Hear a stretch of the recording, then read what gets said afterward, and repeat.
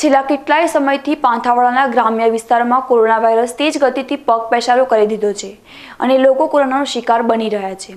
ત્યારે રવિવારે વેપારી મથક પાંથાવાડાના બે વેપારીઓને કોરોના પોઝિટિવ આવતા સારવાર માટે સિવિલ હોસ્પિટલમાં દાખલ કરવામાં આવ્યા હતા.